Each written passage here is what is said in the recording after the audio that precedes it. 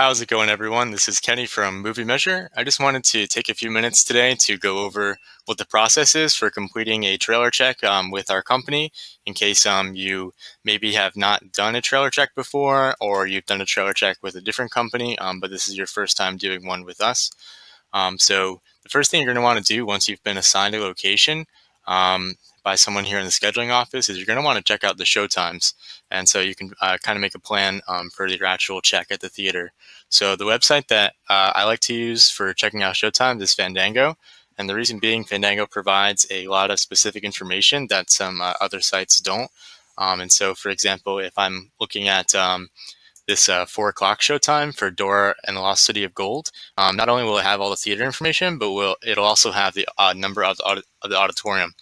And so the reason why that's important is because you're going to be required to check each auditorium and each format that the film for that week is playing in. Um, and so you're going to need to figure out which auditoriums are playing the film and at what times.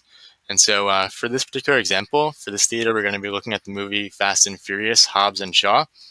And so uh, the other reason why I like Fandango is because it will usually have the runtime of the movie right here. Um, and so this runtime is two hours, 18 minutes.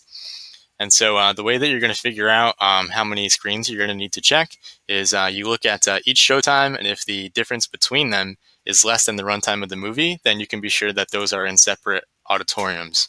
And so if I look at the 11:10 a.m. and the 12 o'clock p.m., the difference of those is only 50 minutes, and so there's no possible way that the theater could play both of those showtimes in the same auditorium. Um, and so if we click on the 11:10 showtime. Um, it looks like it's in auditorium number 10. And just to uh, double check our work, um, if we click on the 12 o'clock p.m. showtime, it's auditorium 9. And so uh, you know right there that that's uh, two different auditoriums that you're going to need to check. Um, and so if we look at the 11:10 and now the 2:20 p.m., uh, the difference of those is uh, more than the runtime of the movie, and I usually like to add about 10 to 15 minutes to the actual runtime because the theater staff will usually go in and uh, pick up garbage and clean and do um, uh, that kind of thing. So uh, the 1110 and 220 um, are definitely going to be in the same auditorium. So uh, then it's going to be the same thing with the 12 o'clock p.m. and the 315 because the difference is large enough of the two times. And then it's just so on and so forth um, with this particular example. So um, the first screen is going to be the 11:10 a.m., the 2:20 p.m., the 5:30 p.m., and the 8:40 p.m. And then the second standard screen is going to be 12 o'clock p.m., 3:15 p.m., 6:30, and 9:40. And so for this particular example, there are two standard screens. Uh, there's two standard 2D screens. Um, and so uh, that's two right there. And then you're going to also need to do each format. So this particular theater um, is also playing this movie Hobbs and Shaw in RPX. Um, and so if we take a look at the RPX show times, the difference between all of these is uh, pretty large, um, more than the runtime of the movie. So we can be sure that these four show times are going to be in the same screen. And if we want to double check our work, we can uh, click this show time and uh, looks like this one is in Auditorium 7. And then if we go back and check one of these other RPX show times, sure enough, it's in Auditorium 7. And so uh, that's uh, going to be, for this particular example, two standard screens. Uh, so that's uh, this first grouping of showtimes, and then one RPX screen, which is this uh, grouping of four showtimes. And so you don't need to check each showtime. You only need to check each auditorium and each format once. And so you just have to pick one uh, showtime for each screen. So for example, this first set of standard screens, you could check the 1110 and the 12. That would get you both standard screens. Or you could check the 220 and the 315. Those two would also get you both standard screens, and so on and so forth. And so you pick one showtime for each of the standard screens, and then you'll have to get the RPX screen as well. Um, so you can pick any one of these four showtimes. And so that'd be three tasks in total. Um, the Movie Measure app will tell you the number of tasks. Um, this information is usually accurate. Um, I would say at least 90% of the time it's accurate, but the theater um, may change things around. So when you get um, actually on site um, at the theater, it's always good to check with the theater manager to confirm that your uh, plan is going to be uh, uh, in accordance with uh, what the uh, theater is actually playing. And so um, that's how to figure out the number of tasks. And so that's how to make your plan before you um, actually head to the theater. And uh, now we're going to switch over to the actual app. Um, so you can see the functionality of it and uh, what the process is for uh, utilizing the app to complete your trailer check at the theater.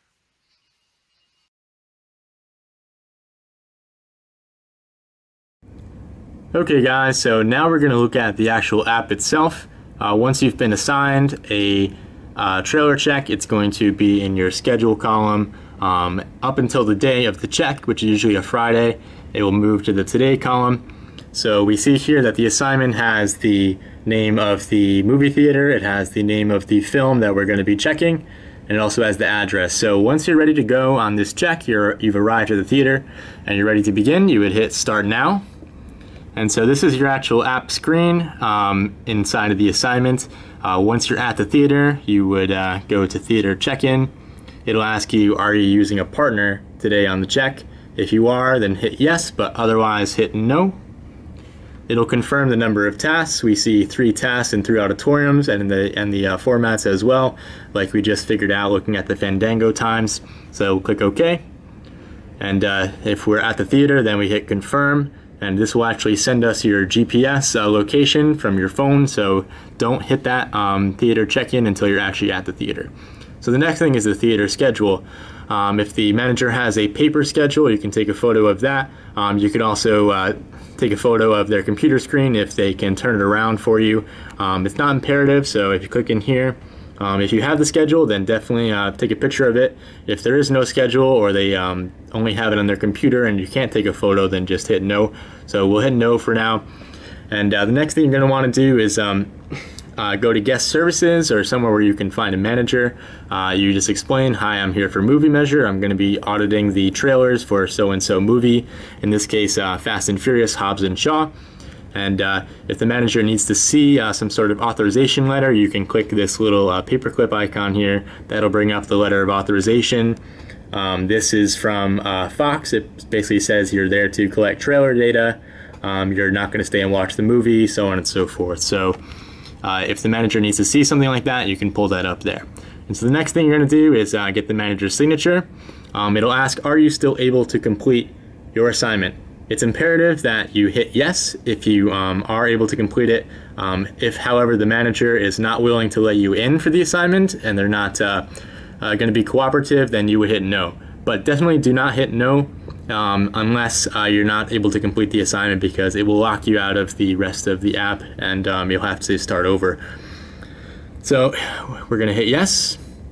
And uh, what I usually like to do is uh, give the manager my phone. I just say, hi, can you please uh, type your name and then sign in the box. So they'll type their, their name here, whatever it is, and uh, they'll go ahead and sign in the box and then hit done. And so uh, now you got the manager's signature and uh, we're ready to add our first uh, showtime. So you would click the add a screen to audit. And now it's going to give you the option to select the format up here you would hit uh, standard or large format and uh, it will populate um, all of the show times at that theater based on online um, information. Uh, these look to be the same as the, um, uh, the Fandango time. So um, if you don't see the correct showtime in this list, then you would go down here to add showtime and uh, you can manually select it in here.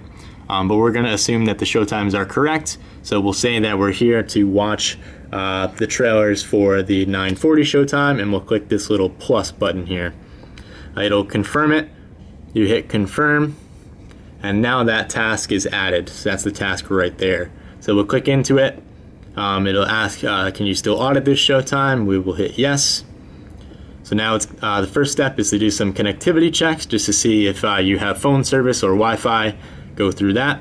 Next is the auditorium check-in. It'll just ask you some basic information like what auditorium number you're in. We'll say three. What's the maximum capacity? Usually that's posted on the wall. We'll just put whatever. It'll ask you the format. We know this is a standard screen. Um, you can tell the format um, uh, uh, by the size of the screen. So you have standard screens, that's a normal size screen. Then you have a large format. Um, there's quite a lot of, uh, large format types. Uh, that's like your RPX or um, other uh, large format depending on the circuit. Um, most circuits have their own uh, large format type. So like RPX is Regal's large format, um, but Cinemark has their own and Bowtie has their own, etc., etc. And then you have some other options here: Dolby, IMAX, 4DX. That's like uh, when you have vibrating seats and uh, that type of thing. Uh, and then you have 70 millimeter, um, but that's really uncommon. And so it'll ask you also, is the movie playing in 2D or 3D? This is in 2D, and then we'll press done.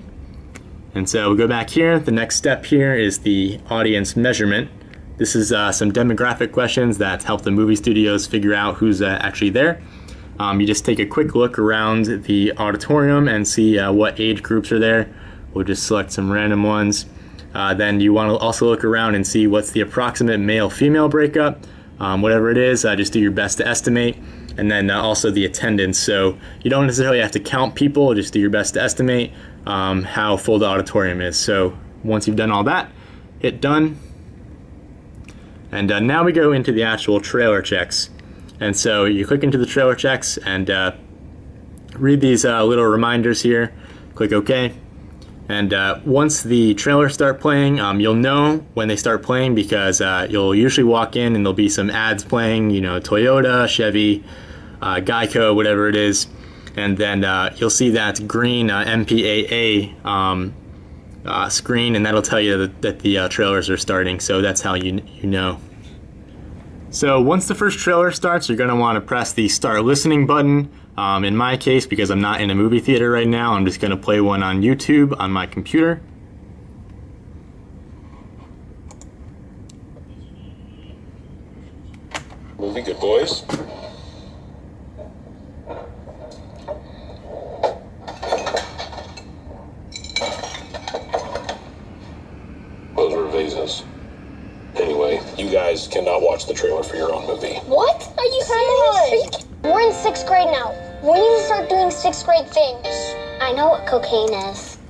Okay, so you see it picked it up. Um, it'll pop up on the screen. It'll say Good Boys or whatever the trailer is.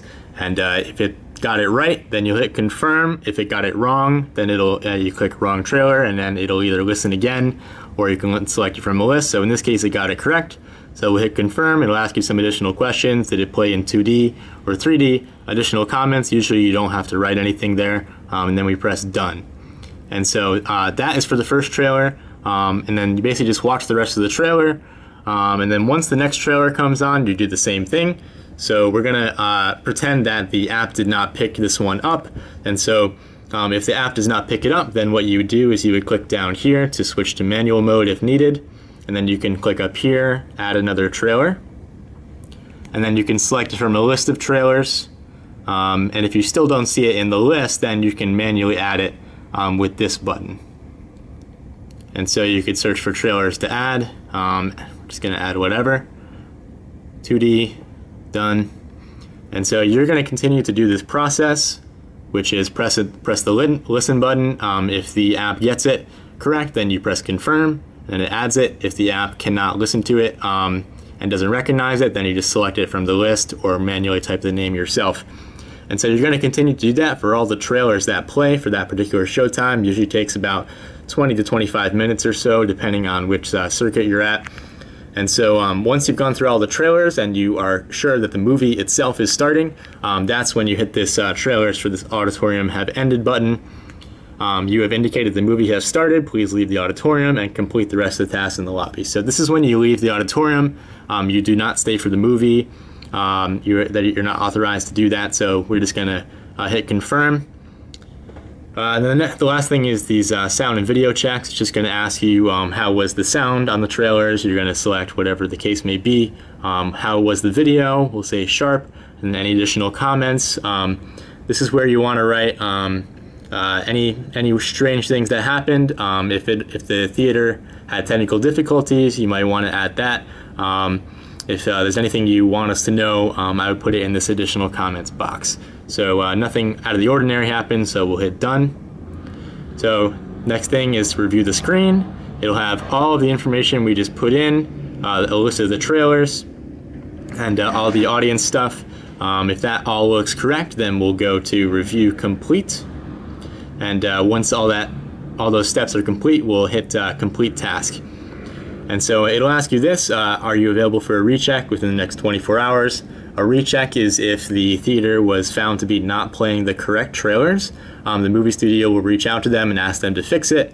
And so we might uh, give you a call uh, the next day to ask if you'd be available to go back um, and do a recheck. A recheck is paid exactly like it's a brand new uh, check. And so you'll be paid for both the original check that you're doing right now and you'll pay, be paid for the recheck if one is needed. And so just let us know. I wouldn't, I would not be available or I would be available. We'll say that I would be available. And so it'll tell you now you have two more tasks to complete. Click OK. And so now it's going to go right back to this add another screen to audit page. So this is where you would add the next screen, um, et cetera, et cetera. So we'll say another standard screen. Um, add the 840, go through all this stuff. And so uh, you'll continue to do this um, until you've done all the tasks in the same exact way. Okay guys, so once we've gone through all the tasks um, that are required, uh, you can see I have three tasks here. Uh, that's when we uh, hit complete assignment and we're good to go. So yep, uh, that task uh, will clear itself from your today column and it will move over to your completed column. Alright guys, so um, that's pretty much it. Um, feel free to call if you have any questions. Our phone number at the scheduling office is